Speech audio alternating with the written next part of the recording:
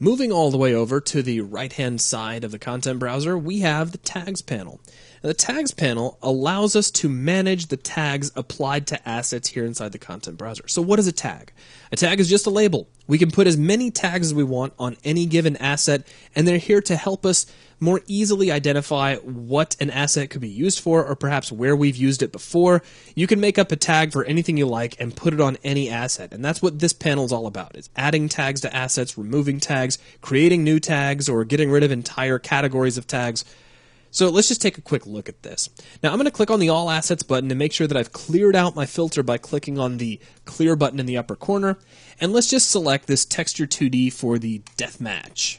Now when I select this, you'll notice in the Tags panel that this already has a tag applied. Being special, it's under the Material category. So if I scroll down here inside my list of various uh, tags, you can actually see the Material category, and there's the special tag, which has been applied to this object. But let's say I want to apply another tag for some reason.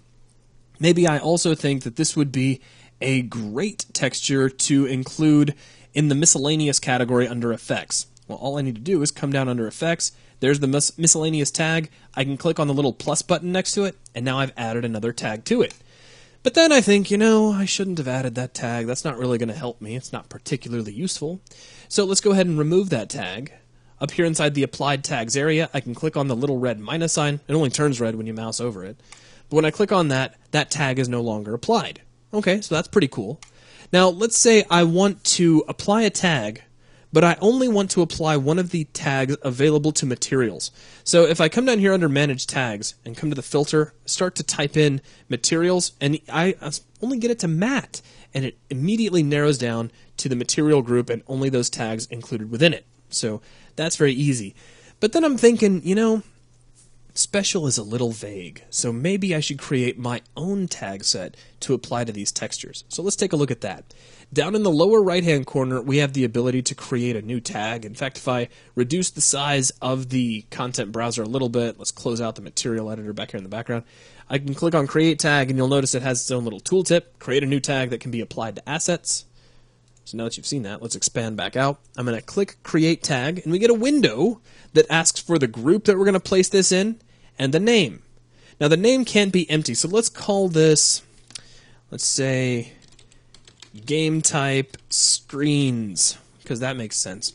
Now, under the groups, we can create our very own new group if we want.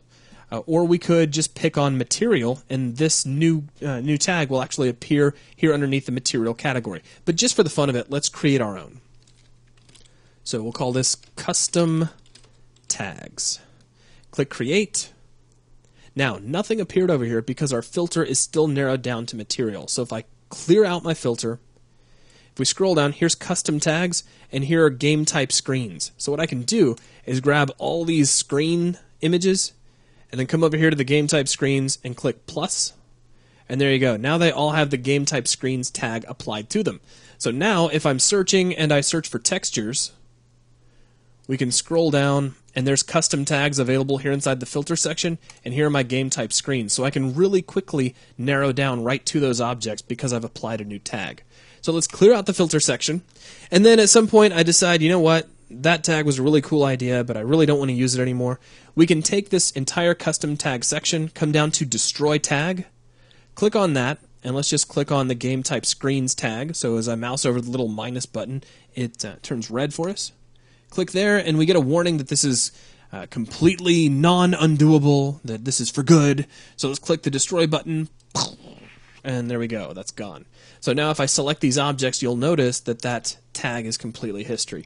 So by doing this, you've already seen how we can create our own tags, how we can apply them, how we can remove them, and you got to see how up inside the filter panel, those tags will appear and allow you to more easily search for a specific asset. So by all means, make use of this. You know, even if you notice that there are tags that, you know, maybe could be applied to certain assets that would make more sense to you, you know, go ahead and apply them. If you uh, see some tags that you think maybe would be better for you to have, create your own tags, apply them to assets.